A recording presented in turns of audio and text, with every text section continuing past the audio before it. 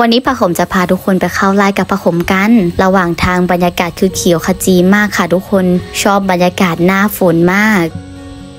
ช่วงนี้บ้านเราก็ได้เก็บข้าวโพดกันแล้วนะข้าวโพดอันนี้เราปลูกตั้งแต่หน้าร้อนแล้วค่ะเพิ่งจะมาออกตอนนี้เอง วันนี้เราก็มาเก็บข้าวโพดกันค่ะ เก็บข้าวโพดแต่ว่าไม่ใส่รองเท้าบูทมาเลยค่ะทุกคน เมื่อตอนเช้าวันนี้ฝนก็เพิ่งตกไปเอง พื้นคือลื่นมากนะคะ เดินก็ต้องเดินแบบในคลิปค่ะ บอกเลยว่าลำบากมาก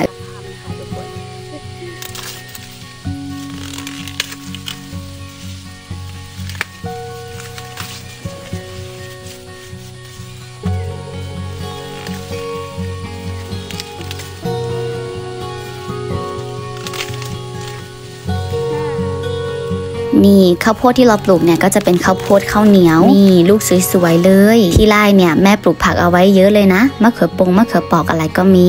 ผักทุกอย่างที่เราปลูกเนี่ยเราก็ปลูกแบบปลอดสารพิษ ไม่ได้พ่นยาอะไรใส่เลยค่ะ ช่วงนี้มีแต่คนถามมาเยอะมากๆ ว่าทำไมผักขมถึงหน้าใสขึ้น เมื่อก่อนตอนเราไปทำไร่เนี่ยเราตากแดดทุกวันทำสวนแทบทุกวัน และก็ตอนนั้นนะไม่รู้จักการดูแลหน้าตัวเองเลยค่ะ ถ้าใครจำได้จะเห็นว่าช่วงนั้นนะเราผิวไหม้แดดแล้วก็สิวขึ้นเยอะมาก แต่ว่าช่วงหลังๆมานี้เนี่ยผักขมก็หันมาดูแลตัวเองมากขึ้นนะคะ จนได้มาเจอกับตัวธนาคาตัวนี้ เป็นอีกหนึ่งตัวช่วยที่ทำให้ผิวหน้าเราดูดีขึ้น ทุกวันนี้เวลาออกแดดหน้าก็ไม่ดำอีกต่อไป เพราะน้องตัวนี้ช่วยดูแลหน้าได้ทุกสภาพผิวเลยนะ วิธีใช้เนี่ยก็ง่ายมากๆ เพียงแค่ใส่น้ำแล้วก็น้ำแท่งธนาคาเนี่ยมาวนๆประมาณนี้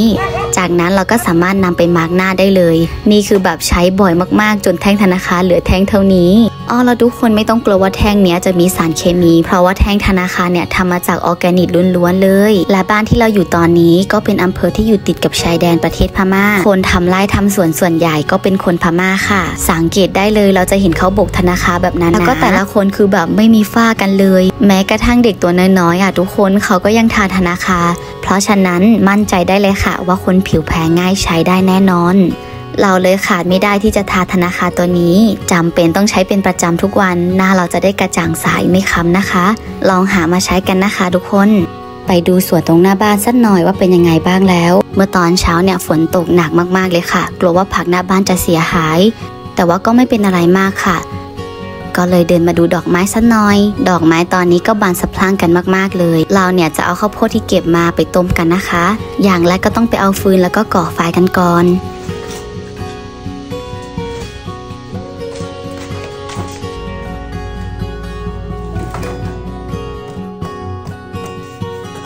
วันนี้เราจะต้มข้าวโพดด้วยการก่อไฟนะคะทุกจะได้ประหยัดเตาแก๊สนะคะ เพราะว่าเราต้มข้าวโพดแต่ละทีเนี่ยต้มแบบหม้อใหญ่เลย ถ้าต้มบนแก๊สเนี่ยก็น่าจะเปลืองแก๊สมากๆ ตอนนี้เราก็มาจัดการส่วนของเปลือกข้าวโพดกันนะ แต่ว่าจะแกะไม่หมดนะคะ จะเหลือเอาไว้บางส่วน เพื่อเวลาเราต้มข้าวโพดออกมาแล้วข้าวโพดเราจะได้มีรสชาติหวานๆ โอ้โห ต้มแบบว่าคนทั้งหมู่บ้านกินได้เลยนะคะเนี่ยคนบ้านนี้มันก็เยอะจริง ๆ ต้มหม้อเดียวก็ไม่พอกินค่ะ คลิปนี้ผักขมก็ขอตัวลาไปก่อนนะ ไว้เจอกันใหม่คลิปหน้าค่ะบ๊ายบาย